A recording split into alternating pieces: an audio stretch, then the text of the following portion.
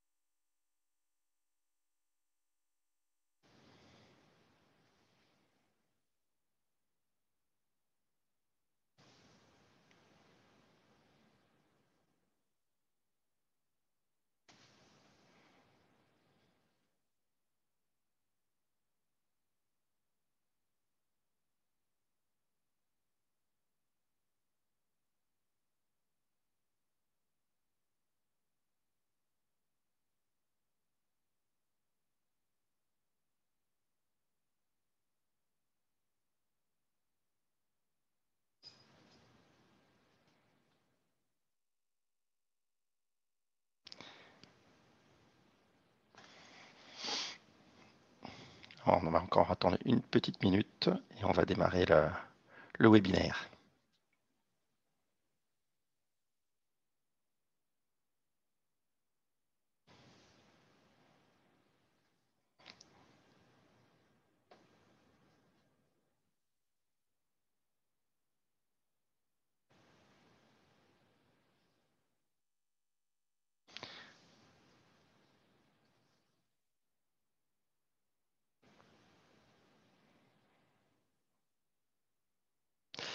Eh bien, je pense qu'on est euh, sûrement presque au complet.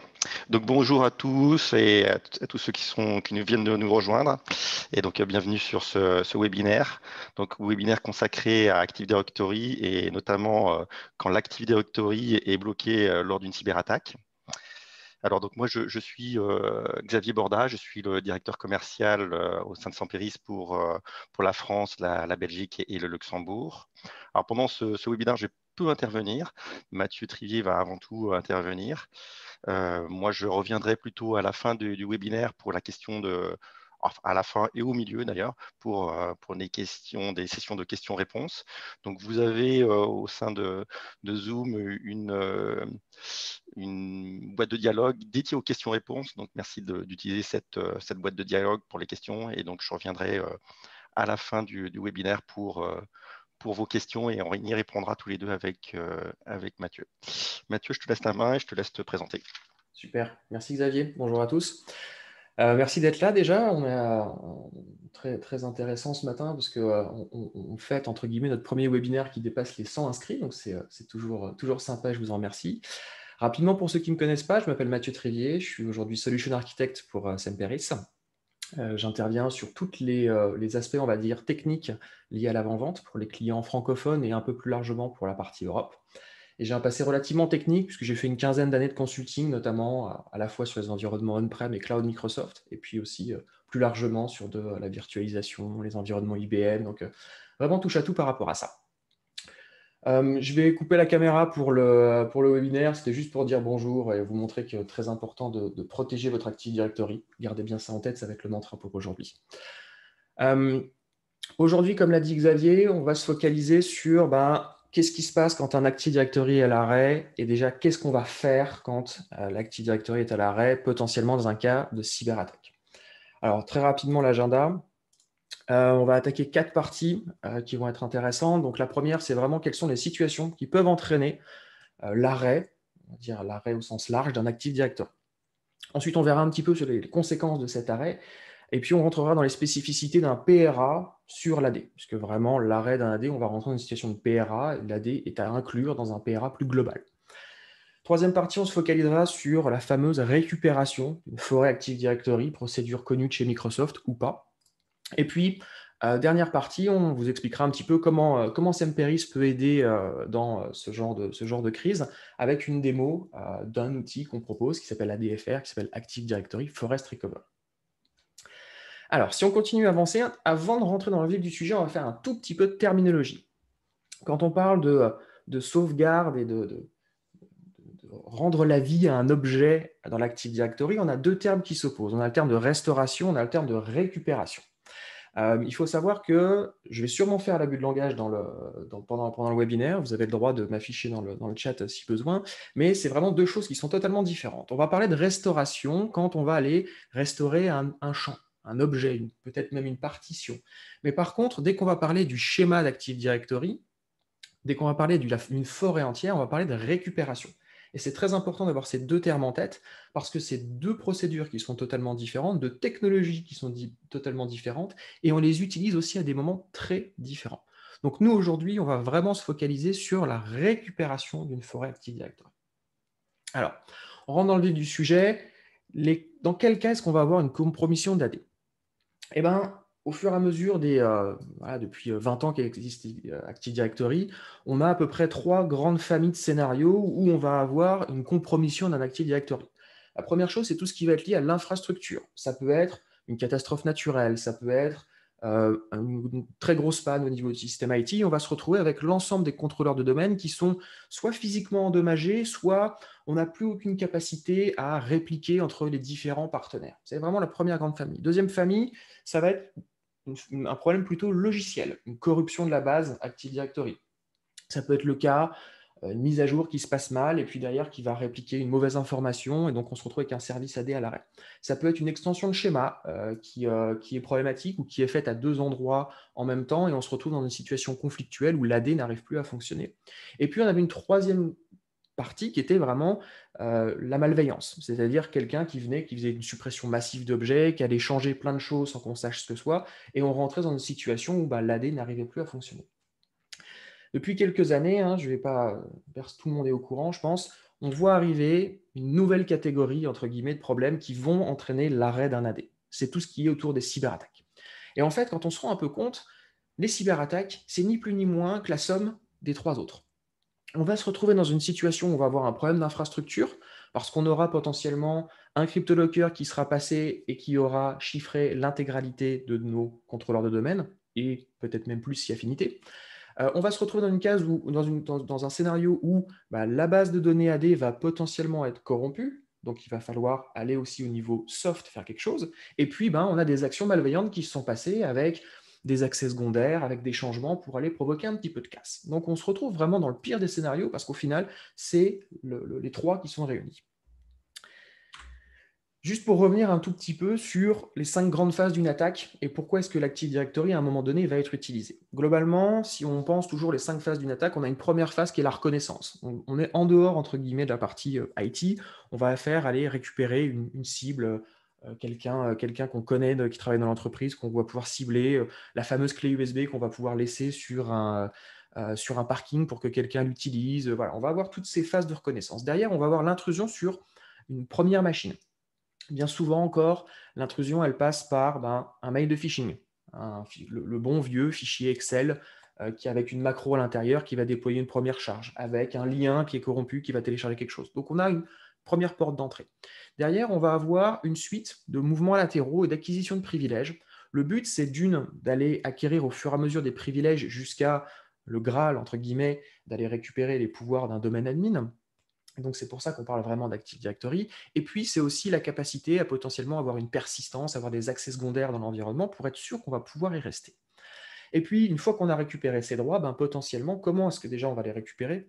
Ça serait bien d'y revenir, bah, ça va être en exploitant bah, des vulnérabilités. On a entendu beaucoup parler du zéro logon. Euh, là, depuis quelques jours, on entend parler du print nightmare qui commence à arriver. On avait le print bug juste avant. Donc, ça peut être l'exploitation de vulnérabilités qui sont connues dans l'environnement. Ça peut être l'exploitation de mauvaises configurations qui sont présentes aussi dans les environnements AD. Et puis, on arrive à un terme où eh bien, on va être en capacité à commencer à déployer une charge virale. Alors, ça peut être le but de chiffrer euh, l'ensemble des machines dans euh, l'objectif de demander une rançon. Ça peut être de l'exfiltration de données dans le but, deuxième, toujours le même, de demander une rançon. Ça peut être aussi simplement pour pouvoir effacer les traces une fois qu'on est rentré dans un environnement, ben, le plus simple étant de le détruire. Donc on a vraiment un scénario qui va se mettre en place, qui peut prendre plusieurs jours, qui peut prendre même plusieurs semaines, plusieurs mois, mais qui à terme va arriver à la destruction totale ou partielle de l'Active Directory. Alors, qu'est-ce qui se passe Surtout, c'est ça qui nous intéresse. Qu'est-ce qui se passe quand on a un Active Directory qui est à l'arrêt? Bah, Déjà, c'est plus d'authentification. Euh, vous avez encore certains utilisateurs qui vont pouvoir s'authentifier parce qu'ils ont des cache credentials sur leur machine. Mais moi, en tant qu'attaquant, qu'est-ce qui m'empêche, une fois que je suis domaine admin, de faire un petit script qui va changer l'ensemble des mots de passe des utilisateurs et forcer le reboot de toutes les machines? À ce moment-là, vous n'avez plus aucune authentification qui se passe. Plus d'accès aux ressources partagées, plus de file share, plus d'imprimantes. De, Dès qu'on a le ticket Kerberos qui gère l'authentification courante qui vient expirer, terminé, plus d'authentification possible, donc plus d'accès aux ressources partagées. Et puis, par extension, eh ben, euh, votre fédération, votre ADFS qui est, euh, sur votre Active Directory qui vous permet de vous authentifier dans, euh, Office 365 ou bien dans plein d'autres applications cloud, ben, malheureusement, pareil, plus d'authentification possible. Donc, on est vraiment complètement bloqué à ce niveau-là. Si on réfléchit un cran encore plus loin, plus de résolution de nom de domaine, parce qu'on a encore un grand nombre de personnes qui utilisent le DNS intégré à Active Directory. Donc on a un premier problème qui est euh, déjà quid des noms internes?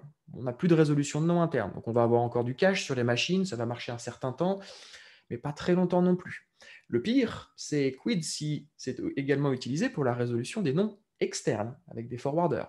Là, on se dit qu'on n'a plus non plus accès à Internet, ou tout du moins plus trop, parce que dès qu'on va avoir un nouveau nom de domaine qu'on va tenter de résoudre, malheureusement, on n'aura pas de réponse. Et puis, dernière chose, et c'est là en fait que ça commence à devenir vraiment critique, c'est toutes les dépendances des applications qui vont aller autour. Mon système de messagerie, mon système collaboratif, mon infrastructure, qu'elle soit Hyper-V ou VMware, qui va se baser sur l'authentification AD pour accéder, qui va se baser sur l'authentification AD pour les permissions, mon serveur DHCP. Est-ce que j'ai encore la mauvaise habitude de mettre un serveur DHCP sur un contrôleur de domaine? Je le redis, c'est une mauvaise habitude, mais on en voit encore énormément. Ça veut dire que plus du tout de nouvelle IP va être diffusée sur les machines qui en auraient besoin. Donc, voilà, on est encore, on descend encore d'un cran dans les problèmes. Et puis, on a toutes ces applications business qui tournent, autour. Un site web marchand qui pourrait utiliser l'authentification AD ou quelque chose qui provient de l'AD pour pouvoir fonctionner tout ce qui va être autour va être impacté puisque l'AD reste quand même les clés du royaume. Donc on arrive actuellement dans une situation où là, c'est l'alerte rouge, il n'y a plus rien qui fonctionne, et là, on passe vraiment dans une situation de crise. Et je disais que l'AD reste les clés du royaume, et c'est ce que je disais, l'AD reste la source, en fait, de l'identité dans 90% des cas. Et puis tout ce qui va aller autour, ça va être un phénomène de synchronisation ou de réplication. Et donc, bah, au fur et à mesure, mes, mes applications plutôt business, elles vont être impactées au fur et à mesure. Donc, l'idée, c'est de dire, à partir du moment où l'AD est touché, à partir du moment où l'AD n'est plus sécurisé, tout ce qui est autour n'est pas sécurisé non plus. Et donc, il va falloir vraiment rentrer dans un plan de PRA global plutôt que juste centralisé sur l'AD. Puis, au-delà de cet aspect direct, entre guillemets, où là, on a un problème, où on n'a plus rien qui fonctionne, on a un problème sur le plus long terme c'est qu'aujourd'hui, on a un AD qui a été compromis. On vient de parler de, quelqu'un qui est rentré dans le système, qui a voulu potentiellement faire des modifications. Et donc, on est face à une grande question. Qu'est-ce qui s'est passé dans mon environnement AD J'ai peut-être eu des créations de comptes pour avoir un accès secondaire qui s'est mis en place. J'ai mis euh, du changement de mot de passe pour être sûr que je vais créer quand même du trouble dans l'environnement. Je vais modifier les membres du groupe pour me donner des accès secondaires, encore une fois, pour me donner accès à d'autres euh, applications peut-être, et puis bah, tout un ensemble de suppressions aussi qui vont être faites dans le but, un, d'effacer potentiellement les traces, et puis de deux, aussi de créer vraiment du trouble.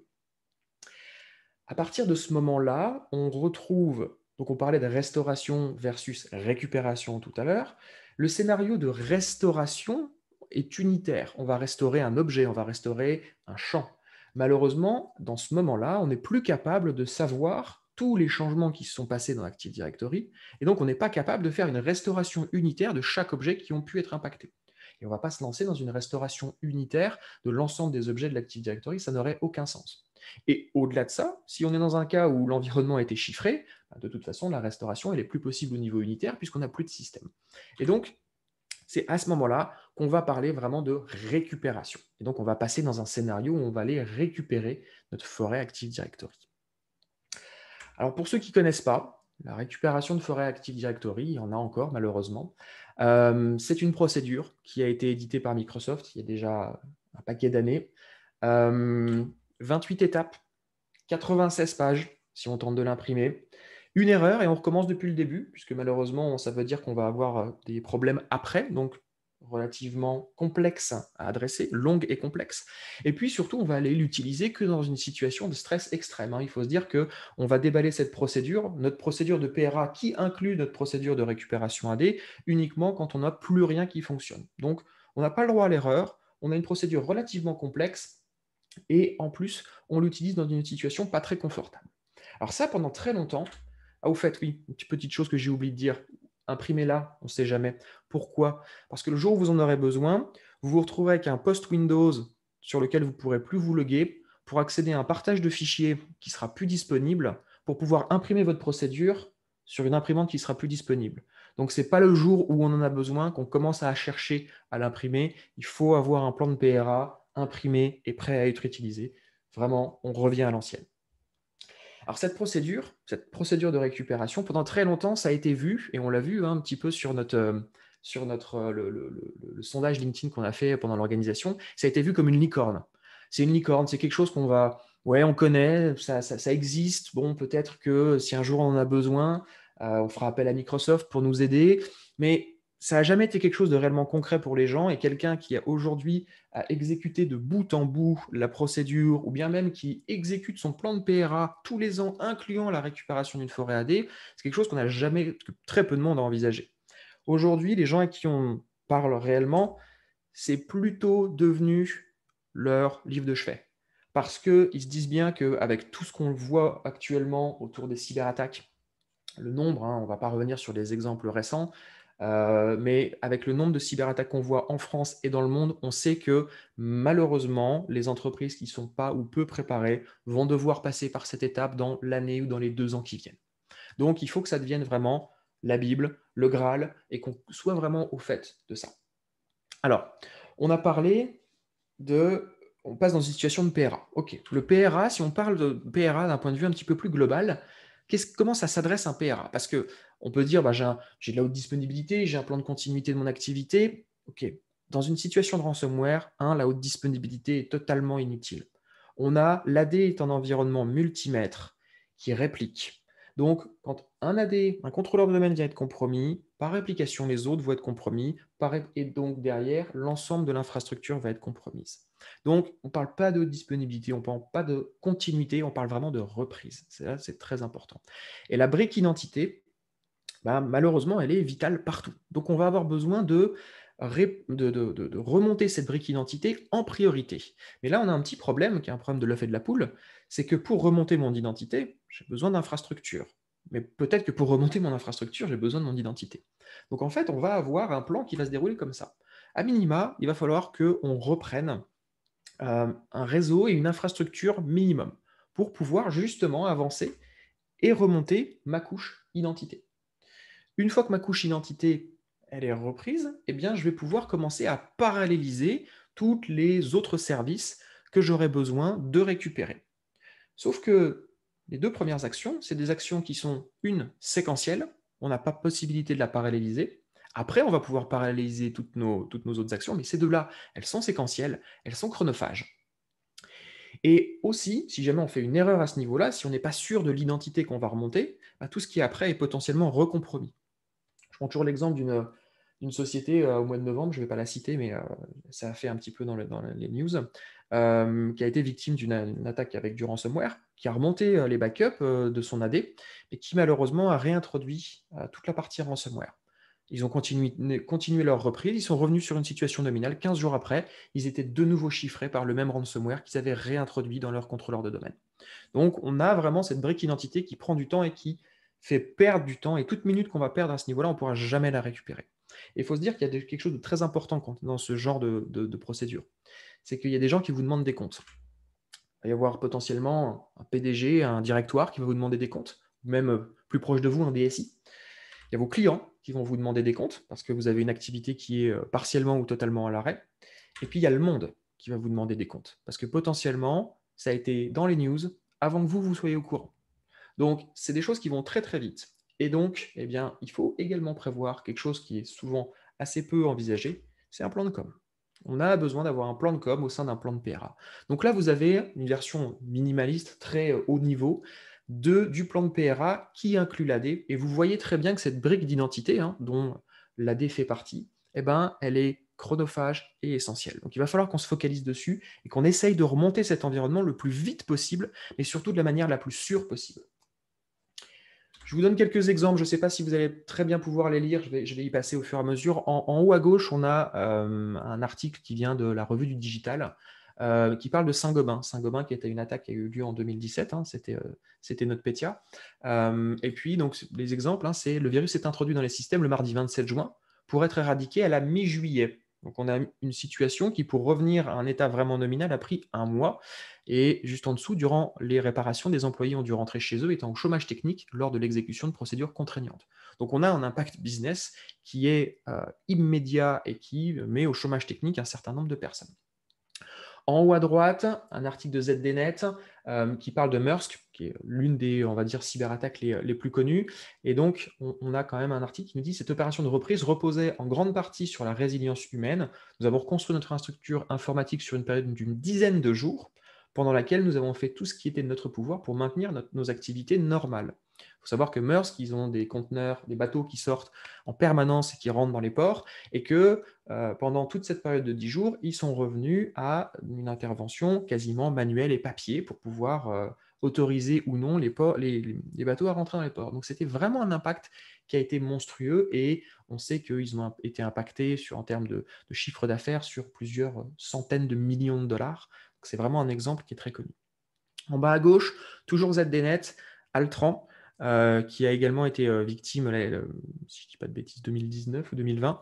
Euh, premier objectif pour la société de remettre ses systèmes en route et reconstituer l'Active Directory de la société, en s'assurant que les sauvegardes sont saines et que celles-ci ne contiennent pas de porte dérobée qui permettrait à l'attaquant de revenir. C'est typiquement l'exemple que je vous ai donné avec la société qui s'est retrouvée avec une deuxième attaque sous 15 jours. Au total, en marche, au total, la remise en marche des systèmes essentiels et la sortie de la crise leur prendra entre 1 et 2 mois. La remise en route de la totalité des systèmes prendra en revanche jusqu'à l'été. Donc on a vraiment là un à deux mois où on a une activité qui est potentiellement impactée. Et puis en bas à droite, on trouve Merck, société pharmacologique. Euh, autrement dit, un mois après le déclenchement de la cyberattaque, Merck, un groupe de taille mondiale, est toujours aux prises avec ce fameux ransomware dont le but réel semble avoir été d'effacer un maximum de données pour provoquer le maximum de dégâts. Donc là, on est vraiment dans une situation où on va aller détruire un environnement sciemment. Et puis, bah, voilà, juste pour continuer, on va, on va continuer un petit peu dans les citations. Euh, quelqu'un, euh, l'ancien CEO de chez Cisco, qui a dit qu'il y avait deux, euh, deux types de sociétés, celles qui ont déjà été compromises et celles qui ne le savent pas encore. Donc, posez-vous la question, rentrons un petit peu dans ce détail et on va discuter maintenant justement de ce qu'il est nécessaire de faire et pourquoi c'est très important d'être préparé dans, dans ce cadre. Alors pour ceux qui étaient présents dans les premiers webinaires, dans les deux premiers webinaires qu'on a, a organisés, euh, j'avais donné un ensemble de stratégies, niveau 1, niveau 2, niveau 3, euh, de sécurisation de l'AD. Dans ces niveaux de stratégie, j'avais donné un exemple concret dans le niveau 1, c'était de maintenir un document d'architecture technique et un document d'exploitation de son environnement Active Directory. Je n'avais pas forcément donné de détails. Mais au final, il y a un certain nombre de questions qu'il va falloir se poser dans le cas où on irait vers cette procédure de récupération. Et ces questions, elles ne sont pas anodines. Alors, on ne va pas toutes les, toutes les revoir, mais euh, j'en ai, ai, surligné certaines en, rose. Euh, déjà, la première, c'est est-ce que vous connaissez la procédure de Microsoft? Est-ce que vous l'avez déjà lue? Est-ce que vous en avez une copie locale? Est-ce que vous la comprenez? Euh, Est-ce que vous l'avez déjà exécutée? Est-ce que vous l'avez exécutée? C'est bien, mais est-ce que vous l'avez exécutée un vendredi soir à 23h avec votre DSI dans une oreille en train de vous demander toutes les 4 minutes quand est-ce que ça va repartir Et de l'autre côté, avec la cellule de crise, vos différents partenaires, vos différents prestataires, qui sont aussi en attente que vous exécutiez cette procédure pour pouvoir, eux, commencer leurs activités. Donc, situation de stress, une procédure qui est mal connue, et en plus, on va plus loin, est-ce que vos sauvegardes sont saines? Est-ce que vos sauvegardes vous permettent de récupérer une forêt Active Directory? Parce qu'on le verra après, ce n'est pas forcément tous les systèmes de backup qui vont nous permettre d'exécuter cette procédure. Est-ce que vous êtes sûr que, au-delà de vos backups sont saines et vont pouvoir vous permettre de faire la récupération Est-ce que votre backup qui est récupéré, il est lui propre à l'intérieur? Est-ce qu'il n'y a pas du malware? Est-ce que vous n'avez pas réintroduire des malwares? Est-ce que vous savez dans quel sens quels sont les décès prioritaires à récupérer pour votre activité business? Est-ce que vous avez cartographié sur quel type de décès, sur quels décès viennent se connecter telle ou telle application? Donc, dans quel sens il va falloir que je remonte mon environnement? Ça, c'est une question qu'on se pose très rarement. Comment est-ce que vous allez remonter vos euh, DC dans une infrastructure qui est peut-être un petit peu euh, étendue, avec des liens WAN qui ne sont pas forcément très performants?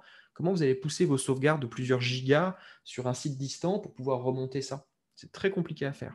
Et surtout, est-ce que vous l'avez personnalisé cette procédure par rapport à votre environnement et est-ce que vous la maintenez à jour? C'est plein de questions et on se rend compte que simplement celles qui sont en rose, quand on discute avec un certain nombre de clients, de prospects, bah, bien souvent la réponse c'est eux et je ne sais pas. Donc c'est quelque chose qui, voilà, sensibilisons les gens à préparons-nous à exécuter cette procédure. Et puis dans les niveaux 2, ce que j'avais donné, c'était de dire intégrer l'AD réellement comme une brique spécifique dans un PRA.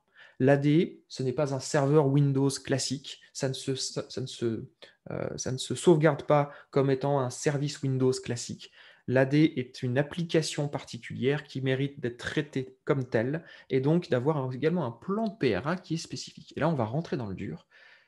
On va discuter un petit peu de la fameuse procédure de récupération d'une forêt. Donc, comme je le disais, 28 étapes. Comment ça va se passer? Déjà, on va déconnecter tous les décès parce que potentiellement tous les décès sont compromis et qu'il va falloir s'assurer qu'on revienne sur un environnement sain avant de les reconnecter au réseau. Donc déjà, on a une première étape qui est un petit peu un challenge. On va tous les reconnecter sur un réseau privé. Ah oui, il faut que vous l'ayez prévu, hein, soit dans un vSwitch, euh, soit sur, vos switches, de pouvoir faire un réseau privé juste avec vos DC pour pouvoir commencer à travailler. Et puis derrière, donc pour chaque forêt Active Directory, on a un ou plusieurs domaines. Euh, mais pour chaque domaine, on va commencer par restaurer un premier contrôleur de domaine, restaurer le sysvol aussi, euh, et puis faire un ensemble de recherches. Est-ce que j'ai du malware dans ce que j'ai restauré? Est-ce que j'ai eu des changements dans mon Active Directory? Là, on ne parle pas au niveau de l'OS, dans l'Active Directory. Je, dois corriger euh, tous les changements qui ont eu lieu, toutes les créations, suppressions, modifications qui ont pu avoir lieu pour pouvoir refaire quelque chose de sain. Je vais vous passer un peu le détail sur les, tout ce qui est nécessaire de faire, vous pouvez le lire. Et puis une fois que j'aurai préparé ce premier contrôleur de domaine, ça va me prendre déjà un certain nombre d'heures, eh bien je vais pouvoir remettre un deuxième contrôleur de domaine dans le même domaine, un troisième, un quatrième. Et selon votre infrastructure, on parle de certains de nos clients qui ont euh, plusieurs centaines de contrôleurs de domaine. Vous voyez bien que, eh ben, malheureusement, on va parler en termes d'heures, de jours, de semaines peut-être pour pouvoir remonter un premier domaine et j'en ai monté qu'un seul. J'ai peut-être plusieurs domaines à ce niveau-là. J'ai peut-être plusieurs forêts dans mon environnement. On a des choix entre guillemets qu'on fait du multiforêt, multiforêt monodomaine, multi, monoforêt multidomaine. On a vraiment un ensemble de challenges à ce niveau-là qui est très important et qui est très chronophage. Et comme je le disais, on va passer les étapes de manière séquentielle. On ne parallélise pas les étapes, on s'assure qu'on a un premier décès qui est propre avant de remonter un deuxième, un troisième, etc. etc., etc. Et une fois qu'on a remonté tout ou partie de notre environnement, on va pouvoir remettre en production cet environnement et avoir les premiers utilisateurs qui commencent à se réauthentifier. On ne parle pas de juste je remonte un seul décès, je le pousse en production. Globalement, ce qui va se passer, c'est qu'il va s'écrouler sous le nombre de, requêtes qui vont pouvoir venir, voire même, on a peut-être des problématiques réseau qui vont faire que certains groupes d'utilisateurs, certains groupes de services ne seront pas capables de communiquer avec lui. Donc on est vraiment sur une procédure qui est extrêmement chronophage. Et si on revient sur les outils de backup. Aujourd'hui, un outil de backup traditionnel qui a un module Active Directory, il va se focaliser sur ces étapes 3 et 4. Il ne va pas faire plus. Il va restaurer un premier contrôleur de domaine avec le sysvol. Terminé. Après ça, c'est à vous de réaliser l'ensemble des opérations qui sont restantes. Donc c'est bien, ça va vous permettre de restaurer déjà euh, votre premier contrôleur de domaine. Par contre, tout le reste, c'est toujours manuel. Donc, un, bah, on ne parallélise pas plus. Deux, on a toujours le risque de faire une erreur et donc de recommencer depuis le début. Et trois, c'est toujours extrêmement chronophage et on perd du temps à ce niveau-là. Alors, on va rentrer un peu plus en détail sur ce qu'est un contrôleur de domaine et comment on le sauvegarde. Un contrôleur de domaine, c'est quoi? C'est une installation de Windows. Hein. Au final, j'ai dit, c'est un service Windows. Euh, donc, ça a un disque système, ça a potentiellement un ou plusieurs disques de données, on a un registre, des drivers, le boot, euh, la comme plus database et un ensemble de services qui vont être euh, configurés. Dans le cadre d'un contrôleur de domaine, on va avoir le ntds.dit qui est la base de données Active Directory. On va avoir le sysvol qui contient globalement euh, un certain nombre d'exécutables, les GPO, qui est lié vraiment à Active Directory. Et puis, on va avoir toute la configuration des différents services liés à des DS, à des Directory Services. Quand on fait de la sauvegarde d'un de, d'un contrôleur de domaine, on a bien souvent deux grands types de, sauvegarde. On a de la sauvegarde qui est dite system state et dite bare metal recovery. On ne va pas rentrer dans le détail de la différence entre les deux, mais ce qu'il faut bien se dire, c'est que le jour où on, euh, on est victime d'une cyberattaque, on a du ransomware, on a des choses qui ont été déployées dans l'environnement, malheureusement, tout ce qui a été compromis euh, sur mon contrôleur de domaine, eh ben, malheureusement, je vais peut-être pouvoir les avoir dans ma sauvegarde. Pourquoi? Ben, Tout simplement parce que ma sauvegarde, elle contient, comme je l'ai dit, le sysvol. Il y a peut-être des choses qui ont été mises dans le sysvol, le disque système. Il y a peut-être des choses qui ont été positionnées, des DLL, des exe, des MSI qui ont été positionnés dans le disque système, dans les disques, dans les drivers, euh, dans le sysvol. Et tout ça, ça a été pris par ma sauvegarde. Et comme je le disais au tout début, une attaque, quand elle se met en place, ça peut être plusieurs jours, ça peut être plusieurs semaines, ça peut être plusieurs mois. Donc, vos sauvegardes d'il y a un mois sont peut-être encore compromises. Donc, il faut s'assurer que, aussi bien quand on restaure, c'est très important de restaurer, qu'on soit sûr de ce qu'on restaure, mais ça veut dire qu'on doit être sûr de ce qu'on backup. Et donc, en fait, il y a peut-être plein de choses qu'on backup qui n'ont pas forcément d'intérêt pour récupérer une forêt Active Directory. Qu'est-ce qu'on a besoin pour récupérer une forêt Active Directory? Très simple. On a besoin du NTDS. On a besoin, et encore, c'est un nice to have, du sysvol. Et on a besoin de la ruche, des ruches euh, du registre. La ruche security, la ruche système, la ruche SAM. À partir de ça, on va pouvoir euh, récupérer notre forêt Active Directory. Ça ne va pas être simple, mais on va pouvoir le faire. Par contre, on est sûr que en utilisant que cette partie entre guillemets de l'environnement existant, eh bien tout ce qu'on va remonter ensuite, eh bien sera sain. Modulo le sysvol, le sysvol, on pourrait repartir sans le sysvol, hein, ça voudrait dire qu'on doit recréer nos GPO. dans un environnement de PRA, entre j'ai un système qui ne fonctionne plus et j'ai un système qui fonctionne mais qui n'a plus ses GPO et qui va devoir un petit peu être, euh, être euh, euh, être reconfiguré, c'est peut-être un mal pour un bien, pour être sûr de ne pas réintroduire euh, des exécutables ou des BMSI qui sont problématiques. Mais voilà, on a besoin du NTDS, du sysvol et du registre. Avec ces trois éléments-là, on est capable globalement de repartir. Bon, avec ça, normalement, on a un plan. On est au courant de ce qui est la procédure de, récupération d'une forêt Active Directory. On sait à peu près ce qu'il faut, faut sauvegarder. On sait qu'il faut faire très attention. On est préparé. Bon, c'est vrai que les gens avec qui on parle, ils pensent tous avoir un plan. Sauf que tout le monde pense un plan jusqu'à ce qu'ils reçoivent la première droite. Et très franchement, vu la photo, j'ai pas envie de recevoir la première droite. Des PRA qui sont pas testés, des backups qui sont pas vérifiés. On a un nombre de scénarios qui sont vraiment très très importants et qui vont rentrer dans le cadre de finalement ça marche pas si bien que ça. On parle avec des sociétés aujourd'hui qui nous disent oui, on a un plan de PRA, sauf que notre plan de PRA, bah, c'est 4 jours pour remonter notre infrastructure AD.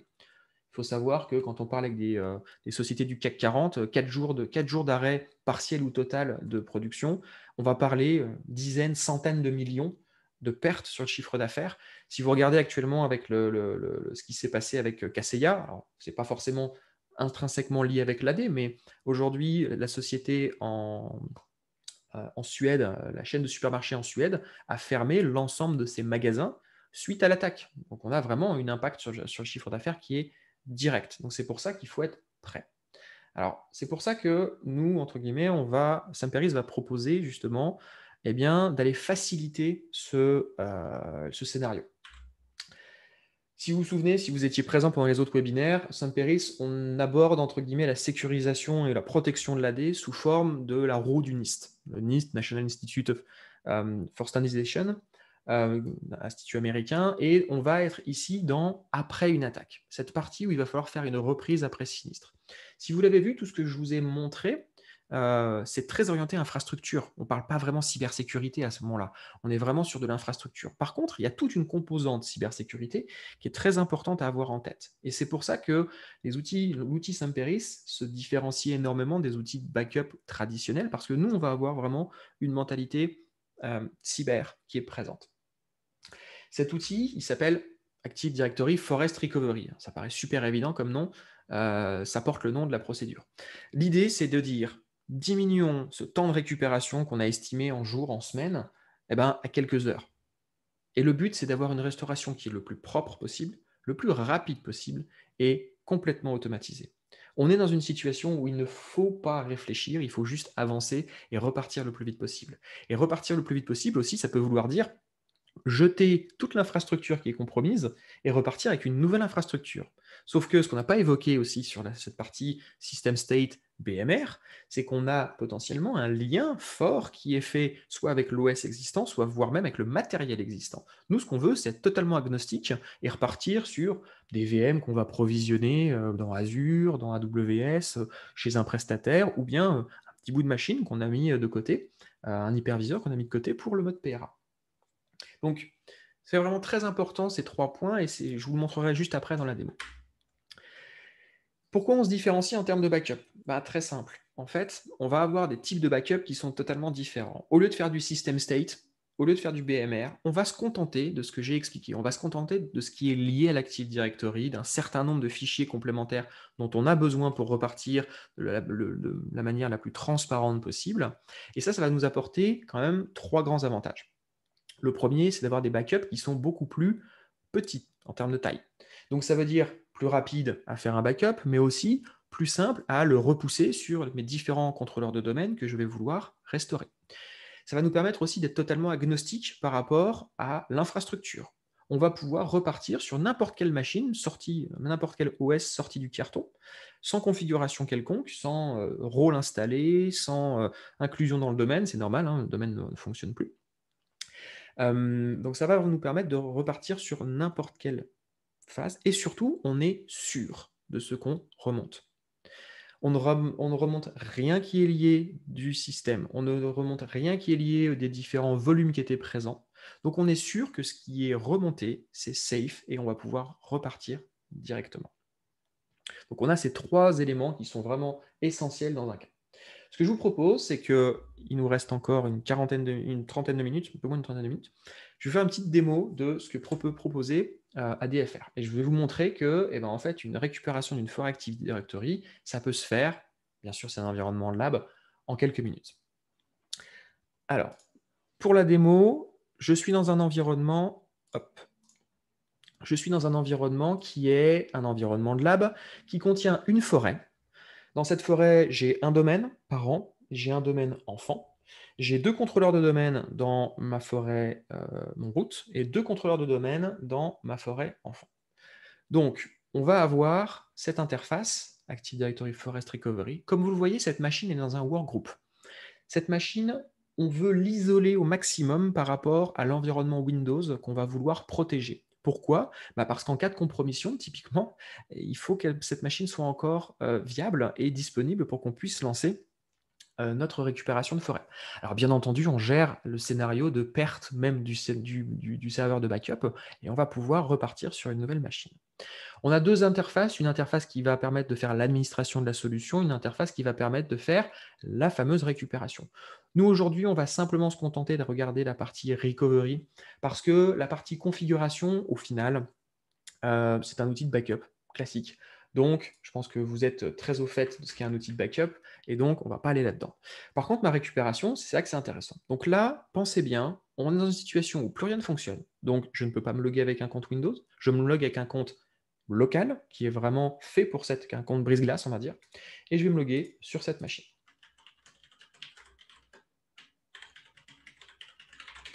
À partir de ce moment-là, la proposition de Saint-Péris, c'est six clics pour pouvoir récupérer une forêt.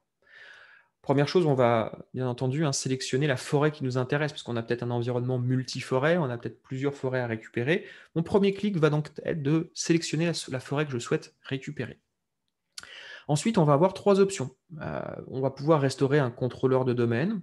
si on a une VM qui vient être corrompue ou quelque chose qui se passe mal, ça peut arriver. Euh, on va pouvoir récupérer une partition entière. Euh, la partition, c'est un script typiquement qui a modifié un grand nombre d'utilisateurs et puis qui, bah, finalement, moment oups, ce n'était pas la bonne modification qu'il allait falloir faire. Donc, je ne vais pas faire de la restauration unitaire, je vais faire une restauration de ma partition. C'est plus simple, ça va plus vite. Euh, des, pour et des contre à ce niveau-là, mais c'est disponible. Nous, ce qui va nous intéresser, c'est notre récupération de forêt entière. Deuxième clic. À partir de ce moment-là, je vais choisir mon set de backup. Je peux avoir, pour euh, une raison X ou Y, la volonté de garder un certain nombre de euh, jeux de backup. La logique veut que, étant donné la manière dont on sauvegarde, on aura tendance à toujours sélectionner le backup le plus récent pour être sûr qu'on revient à une situation qui est la plus nominale possible. Et à partir de ce moment-là, on a trois scénarios. Le premier scénario, il va être un arrêt du service Active Directory. Euh, on le disait, un schéma, une mise à jour du schéma qui peut, euh, euh, être problématique, et donc on a une panne du, du service en lui-même. Mais par contre, on a toujours foi dans nos OS. On n'a pas de malware, on n'a pas de ransomware, on peut repartir sur les mêmes machines. À ce niveau-là, rien à faire. Ici, je déclare que j'ai bien vu mes différentes IP, j'ai mes agents qui communiquent, je vais pouvoir continuer directement et Active Directory va être restauré sur les machines qui sont existantes. Nous, ce qui nous intéresse, c'est le scénario où on a du ransomware. Donc, potentiellement, on n'a plus de machines du tout. Et il va falloir qu'on reparte sur des machines qui sont toutes neuves. Ces machines toutes neuves, elles peuvent être avec le même plan d'adressage IP, c'est une solution. Elles peuvent être aussi avec un nouveau plan d'adressage IP parce que dans mon PRA, finalement, je repars sur du Azure et donc mon plan d'adressage IP dans Azure va être différent. Ce que je vais vous montrer ici, c'est une machine qui vient d'être provisionnée. Vous voyez qu'elle est dans un workgroup. Elle n'a pas le rôle ADDS d'installer, elle n'a pas le rôle DNS d'installer. Elle n'est pas dans le domaine, bien entendu, puisque mon domaine n'existe plus. Euh, elle a juste une IP et elle a l'agence Emperis qui est installée. Donc ça, ça peut faire partie d'un template. Et mais on a vraiment une, machine qui vient de sortir euh, du template du carton. Elle est en 100.109. La seule chose que je vais avoir à faire, c'est que je vais revenir dans ADFR et je vais dire que ici, cette machine qui s'appelait DC01 va maintenant se trouver en fait à l'adresse 192.168.100.109. Alors ça va être relativement rapide, vous allez voir la petite, euh, la petite marque verte qui va tourner le temps de communiquer avec l'agent. Ça a été très très rapide. Mais je suis passé sur ce que nous on appelle du Anywhere Recovery. Qu'est-ce qui va se passer à ce moment-là? Eh bien, en fait, ADFR va complètement automatiser la reprise. Ça veut dire, on va renommer notre machine qui est en 100.109 pour la faire coller avec ce nom-là, parce que c'est ce nom-là qui est connu dans mon Active Directory. Par contre, mon plan d'adressage IP ayant changé, il va falloir aussi qu'on aille faire le ménage dans la sauvegarde, pendant qu'on va restaurer, on va faire le ménage dans la sauvegarde pour faire coller à la fois dans l'Active Directory, à la fois dans le DNS, le fait que cette machine qui s'appelle DC01, maintenant, elle se trouve à l'adresse 100.109. Ça, ça veut dire que ben, quand nos utilisateurs vont tenter de se, connecter, ils vont se connecter à la bonne adresse IP, même si elle est différente de euh, la première existante. Donc, dans un scénario extrême où j'aurais perdu mes 4 DC, qu'est-ce qu'il faudrait que je fasse? Je provisionne 4 nouvelles VM, et puis derrière, je mette simplement les 4 nouvelles IP si jamais j'avais un changement d'adresse IP. Donc on est sur quelque chose qui est relativement simple, qui s'intègre bien euh, dans un plan de PRA global, et surtout qui ne nécessite pas de réfléchir quand on va le réaliser. Et le troisième scénario, c'est peut-être certains décès que je n'ai pas sauvegardés. J'ai peut-être pas volonté à sauvegarder 100% de mes décès.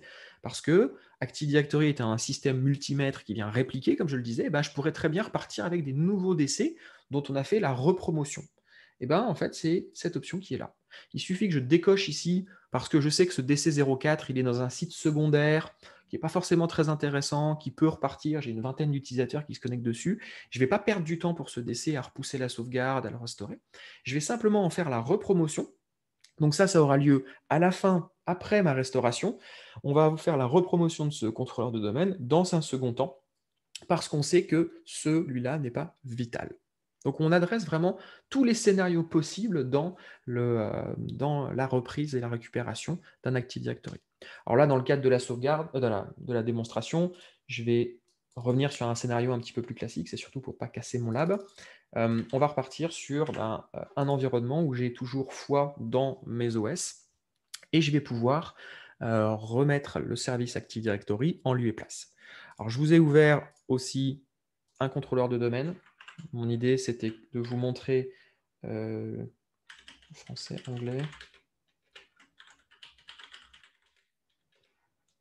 arriver. On doit être en anglais.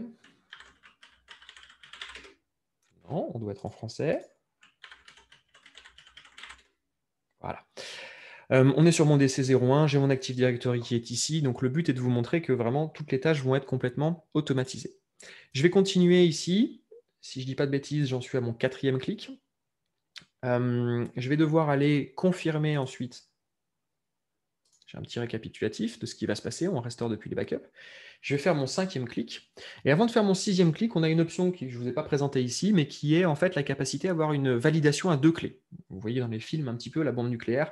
On a deux personnes différentes qui doivent valider cette, action. Ben, on pourrait introduire cette même notion ici, où si jamais on a un administrateur, non pas au sens compte, mais au sens personne physique, qui voudrait lancer une restauration de manière malveillante pour effacer les traces, eh bien, euh, on pourrait avoir une deuxième validation où on a un deuxième compte qui doit venir et valider cette restauration. Donc, on a un, niveau de protection complémentaire qui va être possible à ce niveau-là. Et puis, je vais lancer mon sixième clic, qui est définitivement de lancer ma restauration. Donc là, vous voyez que ça se lance. On va rapidement passer sur mon DC01, on reviendra après, mais voilà, on a, entre guillemets, voilà, cette machine qui va commencer à redémarrer toute seule. Elle va redémarrer en euh, DS Recovery Mode pour pouvoir commencer à réappliquer euh, sa sauvegarde. Donc vraiment, on va automatiser euh, complètement la procédure à ce niveau-là. Alors pendant que ça, ça se passe, on va regarder très rapidement ce qui se passe au niveau d'ADFR. Si vous vous souvenez un petit peu la, toute la procédure qui était présente, eh ben, on va pouvoir un petit peu voir tout ce qui se passe. Donc vous voyez qu'on a une restauration ici des différents domaines. On va avoir nos tâches post-restauration de cleanup. On va avoir la euh, reconstruction des trusts, la reconstruction du domaine catalogue, tout ce qui est nécessaire, entre guillemets, tout ce qui est étape nécessaire. Et comme je le disais après, pour certains euh, secondaires, on va pouvoir faire la génération d'un package IFM, donc install from media, et puis la repromotion de certains contrôleurs de domaine. Et tout ça, bien entendu, eh bien, ça va se passer. Derrière, on va voir le détail ici. On va voir qu'on a les différentes machines qui vont complètement et de manière complètement automatique redémarrer, restaurer, revenir dans un mode euh, DS euh, normal et puis compléter les différentes, étapes. Là où également on va gagner énormément de temps, c'est que ce que vous n'avez pas vu, mais vous pouvez peut-être le voir dans la log, c'est que l'ensemble de mes contrôleurs de domaine vont réaliser l'opération en simultané. Donc au lieu d'avoir un système complètement séquentiel on va en avoir un premier, un deuxième, un troisième, et bien là on a l'ensemble des contrôleurs de domaine qu'on a considérés et eh bien, qui vont exécuter les différentes tâches euh, en simultané. Et simplement, on a notre serveur de management sur lequel je suis connecté, qui lui va être l'orchestrateur des différentes actions pour que ben, cette procédure en 28 étapes, elle soit bien respectée et qu'on n'ait pas de loupé au moment de la réintroduction de tout ça. À ce moment-là, il y a juste une dernière chose qu'il faut avoir en tête, c'est que l'environnement AD qu'on va restaurer, il est potentiellement encore compromis, non pas au niveau OS, non pas au niveau système, non pas au niveau infrastructure, mais au niveau Active Directory pur. Donc, il va falloir, malheureusement, il n'y a pas encore, Samperis travaille dessus, mais il n'y a pas encore de réellement de, scanner antivirus pour Active Directory. Donc, il va falloir faire un petit peu de ménage, comme je le disais, aller chercher tous les comptes qui ont été créés, qui ont été modifiés. Et donc, l'outil a une option directement pour mettre en pause le processus. On va pouvoir, à la fin de la restauration, mettre en pause ce processus et pourquoi pas utiliser un outil comme Purple Knight, qui est l'outil d'audit de Sunperis, qui est gratuit, euh, dans un mode post-attaque. Et en fait, dans ce mode post-attaque, eh bien, Purple Knight va, aller à la recherche de tout ce qui aurait pu être compromis au cours des dernières semaines, mois, et donc va nous faire une cartographie complète de tout ce qui a été problématique. Et donc, on va pouvoir réaliser des actions euh, curatrices avant de remettre complètement en place euh, notre, notre environnement Active Directory. Ce que, je ne vous ai pas montré ici aussi, c'est que je vous ai dit que le 6 vol, potentiellement, on avait euh, une, potentiellement euh, des, des, exécutables, des DLL, des MSI malicieux à l'intérieur. Il faut savoir qu'on a la capacité à mettre tout ce qui est exécutable, tout ce qui est potentiellement ressemble à un exécutable en quarantaine pour être sûr de ne rien réintroduire de mauvais, de pouvoir repartir et après de pouvoir faire une review manuelle de ce qui est légitime ou de ce, de ce qui ne l'est pas. Alors voilà, vous voyez qu'on avance, hein, on, a déjà bien avancé. On a commencé notre restauration, hein, on parlait d'heures, de jours, de semaines. On a commencé notre restauration à 45. On va attendre un petit peu euh, jusqu'à ce que ça termine. On a encore un petit peu d'actions qui sont nécessaires. Xavier, est-ce qu'il y a eu entre-temps quelques questions Il y a, quelques, questions là qui sont arrivées. Euh, donc euh, la première question, c'est euh, bonjour, comment déployer l'application pour l'isoler contre les attaques, car le ransomware peut lui-même crypter l'outil ou la sauvegarde effectuée par ce dernier? Alors, je vais juste faire un point de vocabulaire. On dit chiffrer, crypter, non. alors, Effectivement, ça fait, partie, ça fait partie des grosses problématiques. Il faut savoir que comment fonctionne, comment est architecturé l'outil. Un, on est dans un workgroup. Donc, on, s'affranchit de tout ce qui est environnement Windows qui pourrait être compromis. Ça, c'est une première étape. Euh, donc, on va gérer des comptes locaux, on va gérer une sécurité, on a un Secure Store euh, spécifique dans lequel on va gérer ces comptes-là et dans lequel on va les chiffrer les mots de passe.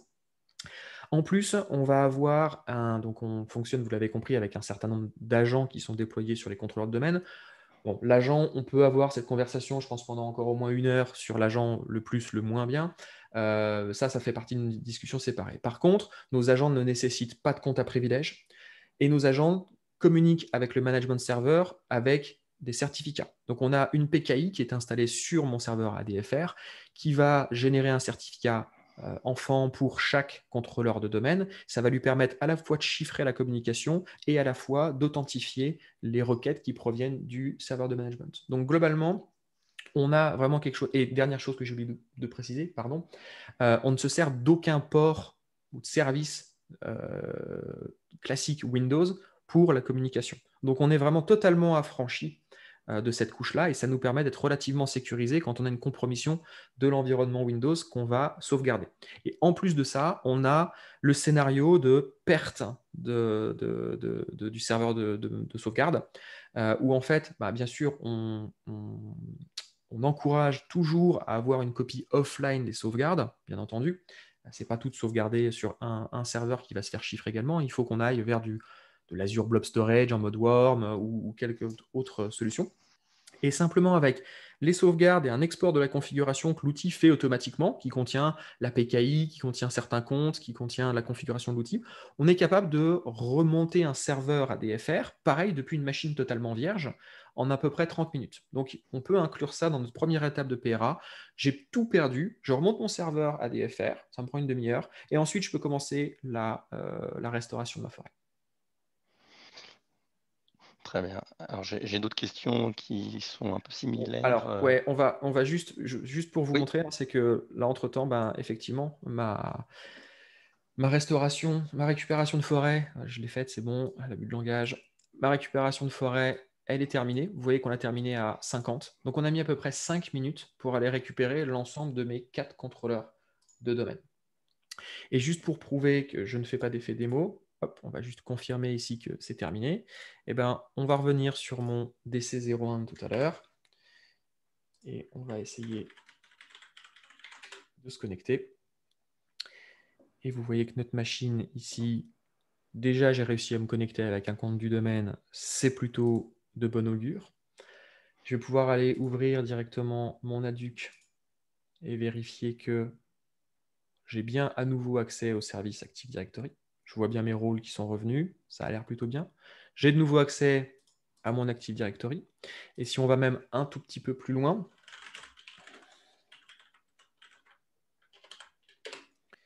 je vois bien que j'ai de la réplication qui s'est faite 11h52, donc il y a quelques minutes hein, après la fin de la, de la récupération. J'ai de la réplication qui est à nouveau 54. Donc j'ai mon environnement qui réplique à nouveau avec ses différents partenaires, que ce soit dans le même domaine ou que ce soit dans le domaine enfant. Donc voilà un petit peu ce que va proposer ADFR. Donc une reprise qui est rapide, qui est sûre et qui est surtout totalement automatisée. Ce qui est vraiment nécessaire dans ce genre de situation et ce qui peut faire économiser énormément de temps et de sueur euh, pour les équipes qui vont s'occuper d'aller jouer cette fameuse procédure. Il nous reste une dizaine de minutes, si je ne dis pas de bêtises. Xavier, je te. Oui, oui, il y a des questions. Tout Ouvre les questions. Oui, tout à fait. Donc, il y a une question euh, dans ADFR où se trouve concrètement le backup utilisé pour le restore en local, sur le réseau interne, sur le cloud, etc. Donc, ça, je pense que tu as déjà plus ou moins répondu. Alors, on, va, l'adresser rapidement. En, par défaut, le backup est stocké à la fois sur le contrôleur de domaine sur lequel on va le générer. Il est stocké également sur le serveur de management par défaut.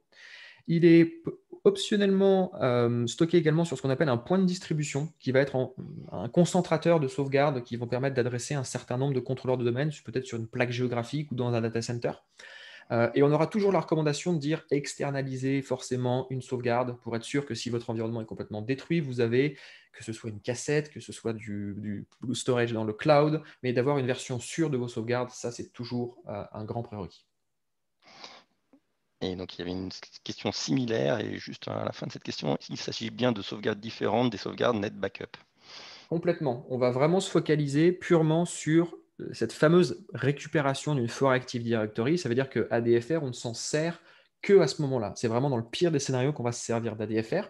Semperis a d'autres solutions pour de la sauvegarde Active Directory. Donc là, on va parler de restauration, hein. donc euh, vraiment de la, partie restauration d'un objet, restauration d'un champ, restauration d'un mot de passe. Ça, c'est une autre solution. Euh, par contre, ADFR, c'est focus sur récupération de la forêt. D'accord. Euh, il y avait une autre question concernant, pouvez-vous nous donner des, exemples de temps de récupération? Euh, alors, si on va regarder, euh, si on va regarder certains clients français, je ne vais pas avoir le droit de vous donner le nom malheureusement, mais on peut, euh, on peut citer quelques, quelques exemples. On a un très gros client qui est dans la pharmacologique. ils sont 120 000, ils ont à peu près 130, 140 décès qui sont répartis dans le monde entier. Ils avaient une procédure qui était vraiment automatisé avant, avec du, un peu de scripting, des choses comme ça qui étaient relativement bien faites. Euh, ils prévoyaient 4 jours, comme je le disais, euh, pour remonter leur environnement. 4 euh, jours complets. Ils avaient estimé, plus pareil, plusieurs centaines de millions d'euros de pertes pour 4 jours d'arrêt. Aujourd'hui, avec ADFR, on est en train d'organiser un, un, exercice de DR au courant de l'été. Là, on a un objectif d'arriver à 6 heures pour pouvoir reprendre l'intégralité des 120-130 décès. Hein. On ne parle pas d'une situation dégradée. Donc on passe potentiellement de 4 jours à 6 heures. On a un autre exemple euh, qui est euh, pareil, une grande, grande banque. Alors là, on parle au-delà de 200 000 utilisateurs. Je donne des gros exemples, mais c'est pour vous montrer vraiment des, choses flagrantes. L'outil ne s'adresse pas forcément aujourd'hui que aux grandes entreprises. On peut même le retrouver dans des plus petits environnements, histoire d'être vraiment sécurisé. Mais euh, là, une grande banque, 200 000 personnes, 300 décès. Euh, répartis principalement en Europe. Euh, ils avaient 6 jours, 6 à 10 jours pour récupérer leur environnement. On est en train de parler de entre pareil 4, 4, 4 à 8 heures pour pouvoir aller récupérer l'environnement complet. D'accord, très bien. On a une autre question concernant quelle assistance proposez-vous en cas de blocage complet?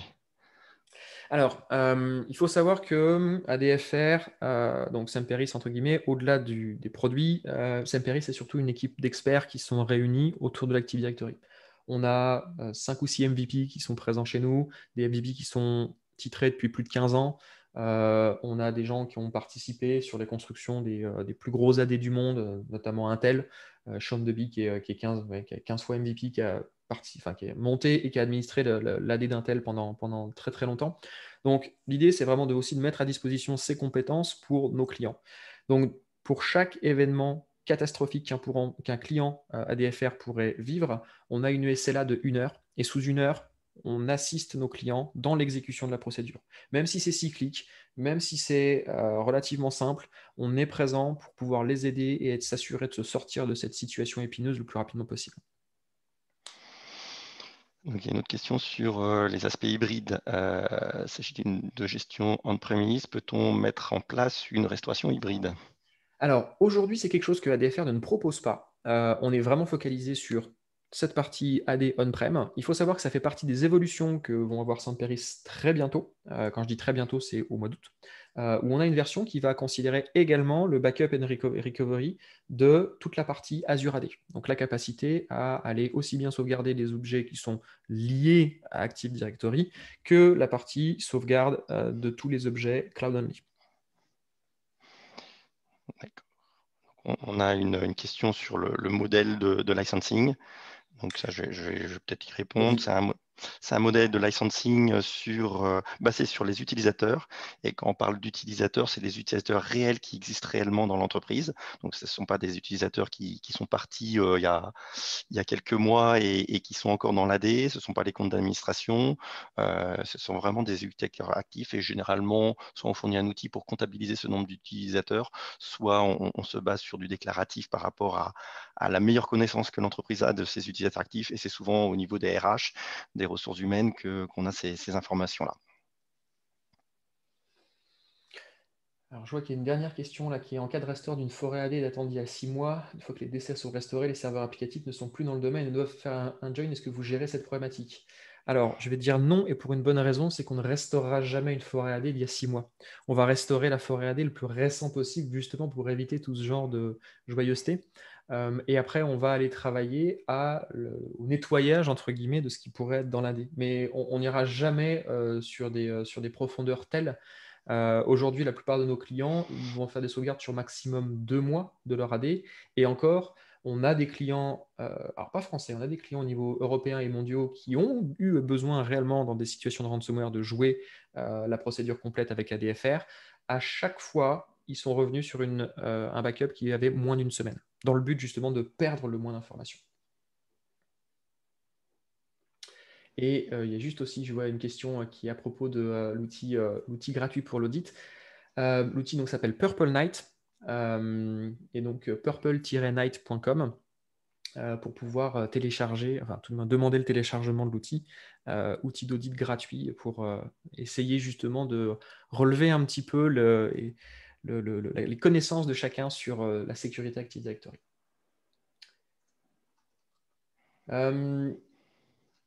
Est-ce qu'on a d'autres? Je crois qu'on a fait le tour des. on, a, juste une qui est arrivée dans le chat. Les relations d'approbation AD avec les postes clients et les autres serveurs sont-elles bien préservées? Euh, Bien sûr. Sinon, on aurait malheureusement un autre problème au niveau de, la reprise. Mais effectivement, une fois qu'on a fini notre procédure de restauration AD, euh, la, reconnexion pour les utilisateurs, pour les, euh, les, comptes qui sont autour est totalement transparente. On n'a rien rien à refaire en plus. Euh, alors, le lien pour le, on, me demande aussi le lien pour la présentation. Euh, on aura un lien de replay du, euh, webinaire qui, sera, qui sera mis à disposition de tout le monde. Si vraiment vous avez besoin des slides, n'hésitez pas à m'envoyer un petit message par LinkedIn ou bien vous avez mon mail directement là sur, sur la slide que vous voyez. Je me ferai un plaisir de vous, de vous fournir les slides. Il est midi 1, on a fini à peu près dans les temps. Euh, on va essayer de rester, respectueux du temps de chacun. Merci beaucoup de vous être connecté aujourd'hui. Euh, je vois le nombre de spectateurs et c'est toujours plaisant. Donc merci beaucoup. J'espère que vous avez trouvé de l'intérêt pour la présentation. Euh, on vient de finir donc une série de trois webinaires. on mettra les liens aussi des trois webinaires complets puisque ça couvre vraiment cette phase avant, pendant et après une attaque. donc maintenant, on va penser potentiellement à la, série suivante. On espère pouvoir vous retrouver euh, pour la suivante. Et si jamais vous avez d'autres questions, qu'elles soient techniques ou liées au produit Saint-Péris, n'hésitez pas. Plutôt moi pour la partie technique et pour la partie plutôt commerciale pour Xavier. Xavier, un mot pour la fin? Non, mais écoutez, euh, merci à vous tous et puis euh, je vous souhaite également une très bonne journée. Merci à tous, bonne fin de journée et à bientôt j'espère. Au revoir.